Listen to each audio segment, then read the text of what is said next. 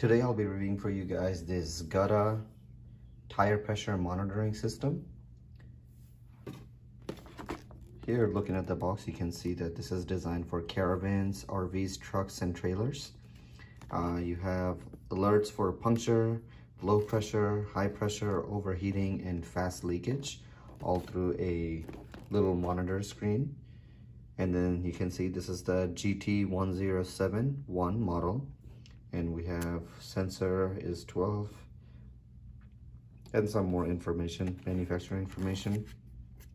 And you can get them in two different models. You have the one model and the two model. Uh, and then what all is inside the box. And some more information here. So you have real-time display of tire pressure temperature cap sensor easy installation and anti-theft and water resistant sensor three to four years of sensor battery life, which I think is amazing. Then you have tire pressure reading, uh, 0 to 188 PSI, uh, data while parking, large size LCD screen, um, as you saw from the image right here.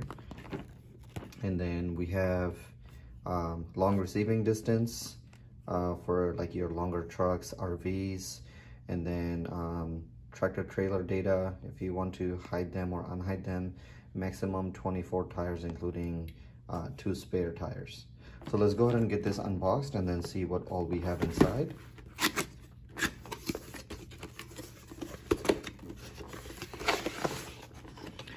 All you have to do is just slide this out. And once you slide it out the first thing we have here is a quick installation guide that you can go through.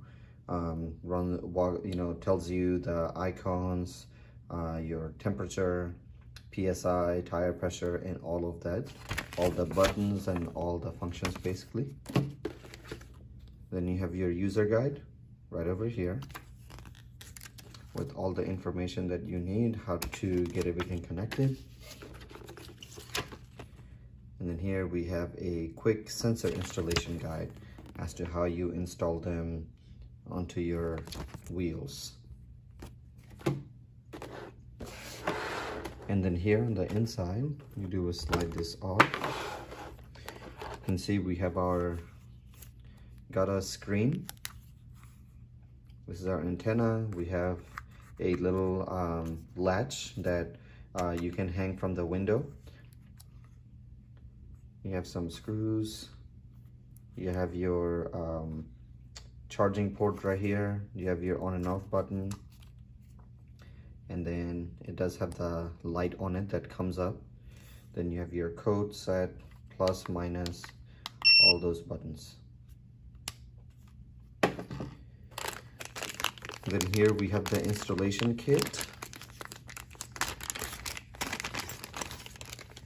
So you have your USB uh, power port that can go from your uh, USB port from your uh, car RV or you can have this connected to a car charger.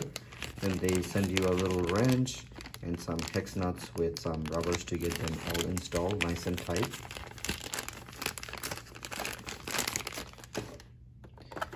And then here you have the window mount suction cup. And this thing just slides right on this me show you. And then you can also loosen it, move it up or down, whatever you need to do.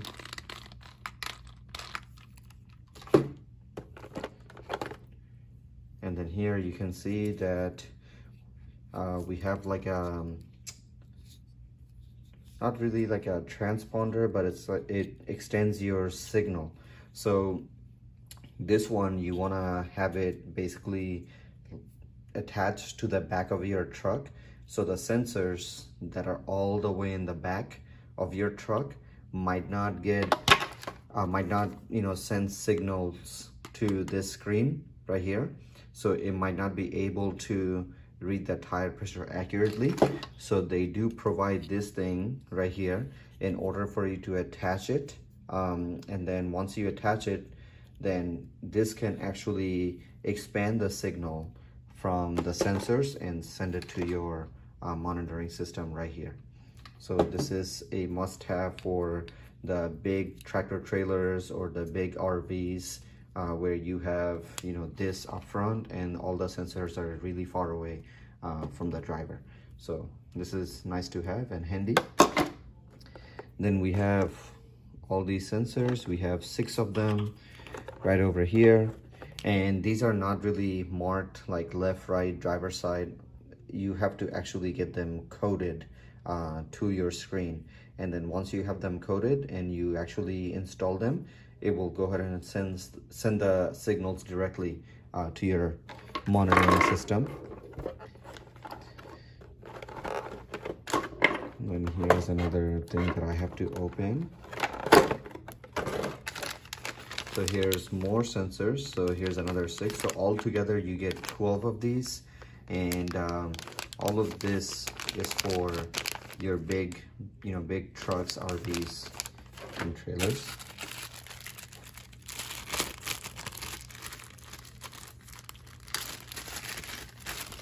And here's another installation bracket that they give you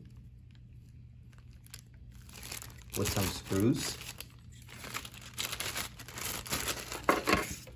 And you have a little sticker um, that you can put on. So you have these little stickers right here and you can put them onto your sensor on top so you can just tell which one is what.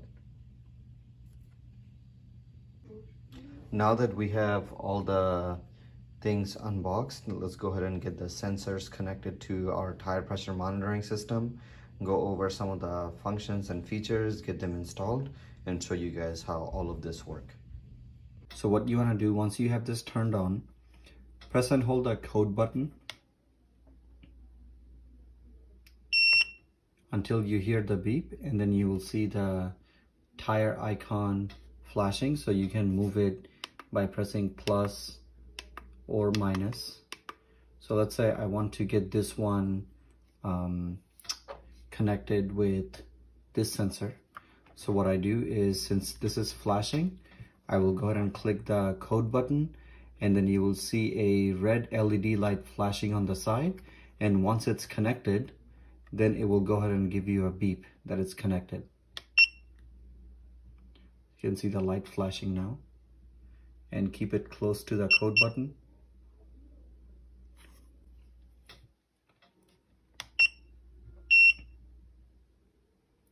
So you can see that now it actually got connected to this one.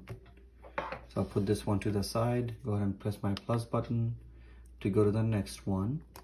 And I'm gonna go ahead and press this code button again.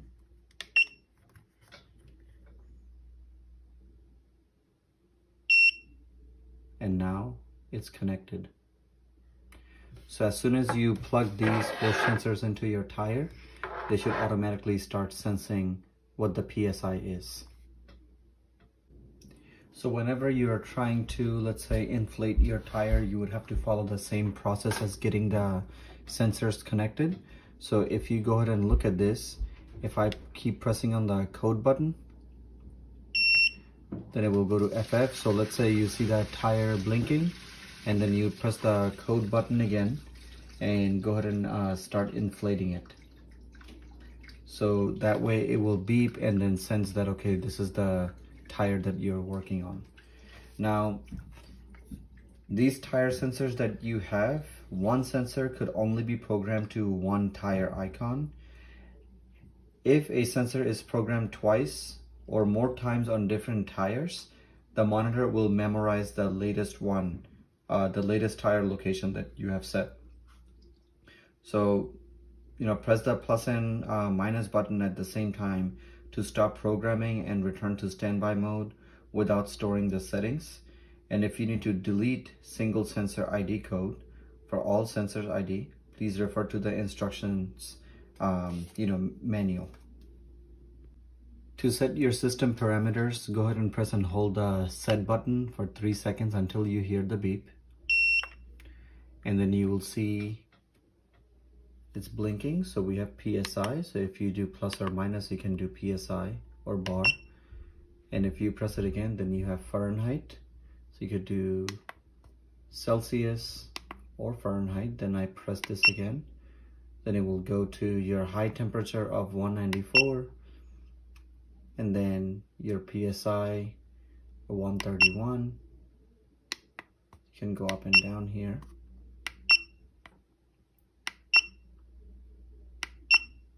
and you set this up for every single tire that you have. As well as your spare tire. And that's it. That's how you program it. So after you remove the nozzle cover go ahead and screw in the hex nut. Then right over the hex nut go ahead and screw in your sensor.